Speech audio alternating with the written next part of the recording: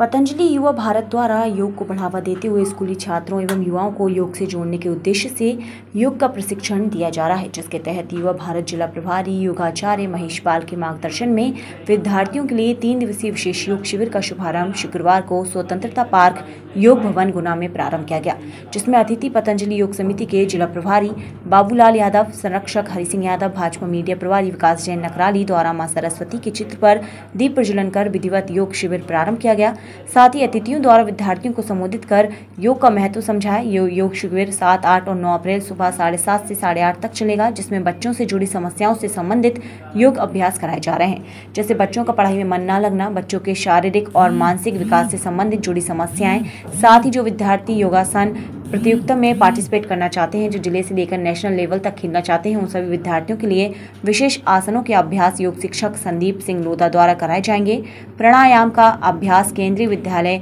गैल विजयपुर की योग शिक्षिका कुनिका लोधा द्वारा कराया गया। वहीं बच्चों को योग के बारे में विशेष जानकारी, कनिष्ठ तटास्तीय द्वारा दी गई आठ नौ अप्रैल के योग शिविर में विद्यार्थियों को भोजन और स्वास्थ्य एवं योगासन प्रतियोगिता से संबंधित विशेष योग अभ्यास कराया जाएगा। गुनानगर के सभी विद्यार्थी इस योग शिविर में जुड़कर लाभ ले सकते हैं। इस अवसर पर योग शिक्षक रानी शर्मा, विजय साहू उपस्थित रहे।